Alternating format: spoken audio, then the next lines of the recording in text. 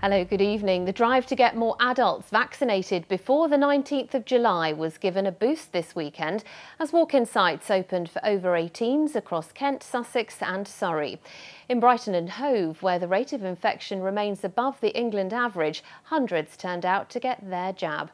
Our reporter Josie Hannett has been to a mobile unit in Hove. In an area where COVID rates are the highest in the southeast, queues formed outside a mobile vaccination unit in Hove today, giving the chance for anyone to turn up and get a jab. And the rain wasn't enough to put them off. Really good having the second dose, knowing that that's it, and I'm fine. Yeah, very easy. I just showed up about half an hour early, lined up, and yeah, I can get home and get on with things now, so it's great.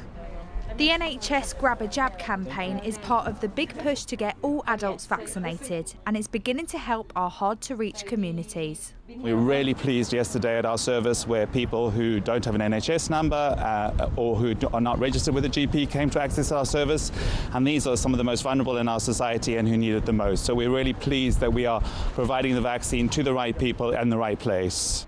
Medical experts say infection rates in Brighton and Hove are particularly high among 15 to 30 year olds. In the last week, for instance, in Brighton and Hove, we've seen a 54% increase in COVID rates. And that is mostly because of increases in that younger age group.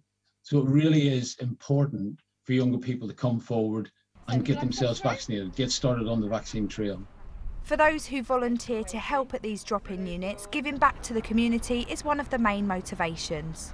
Oh, it feels really, really good. Um, I like doing things for other people. You know, I know I'm doing something for them, but it gives you like a warm feeling too. So you really do get something back.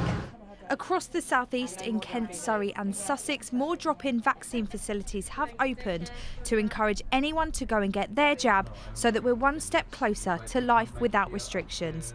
Josie Hannett, BBC Southeast Today, Hove. Well, if you want to find your local walk-in vaccination site in the southeast, you can visit the websites shown here on screen. There you'll find all the information you need. And for more on COVID-19 and the vaccine rollout in this region, go to bbc.co.uk slash Kent, Sussex or Surrey. And there you can click on the How Many COVID-19 Cases in the Southeast page and you can get updates on Facebook, Twitter, Instagram and of course your BBC local radio station.